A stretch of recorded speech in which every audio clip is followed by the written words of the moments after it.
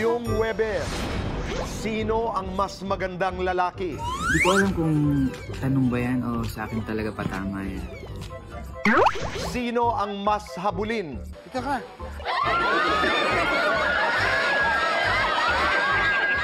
Empoy Marquez at Jason Gainza. Magpapasiklaban.